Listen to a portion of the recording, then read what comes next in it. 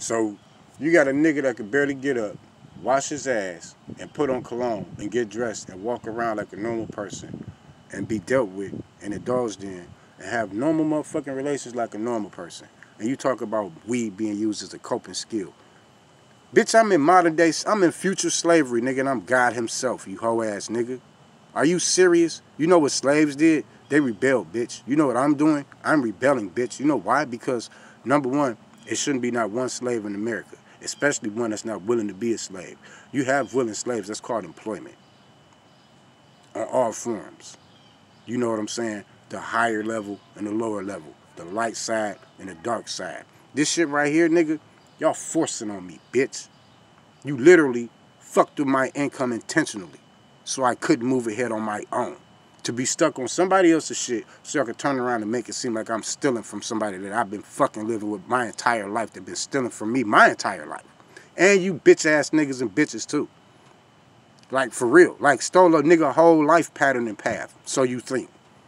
Not possible. So now your ass is finna be handed to you.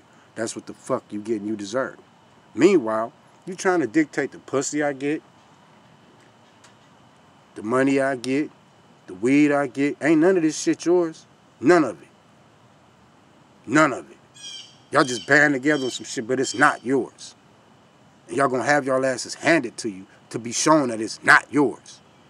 It's my time. It's not your time, bitch. It's my time. So don't send shit into the news station talking about some, it's not your time. No, bitch. It's not your time.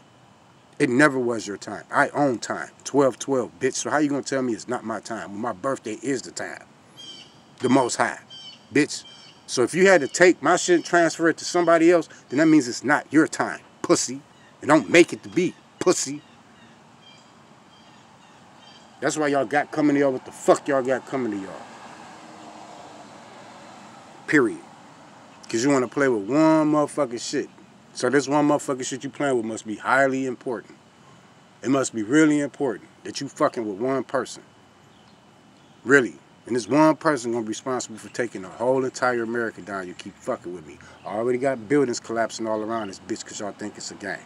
This shit ain't no game. It's not. You picked the wrong motherfucker to play with. And copy. Now where the fuck is my rights is anything existing? Nigga, let's go here. Space has rules. Airspace has rules. FCC, you got FCC laws to regulate air in the airspace so it could be taken care of. So it could be well regulated. Motherfucker, are y'all serious? Bitch, you're showing me how inhumane you are.